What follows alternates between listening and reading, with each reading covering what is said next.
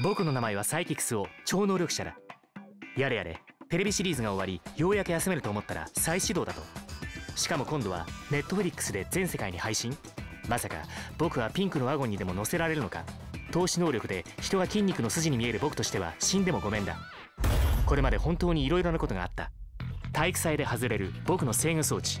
超能力の制御が全くできなくなってあれは大変だった。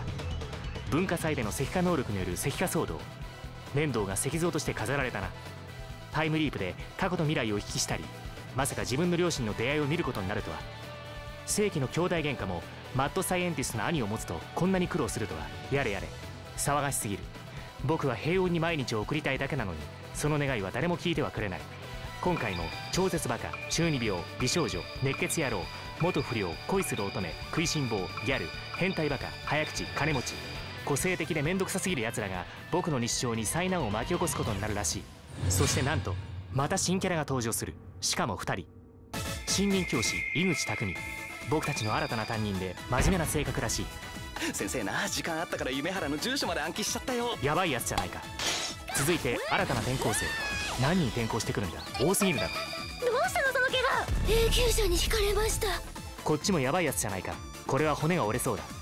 他には間欠戦のその後を描いた僕の超能力が再始動する話も配信予定となっているらしい。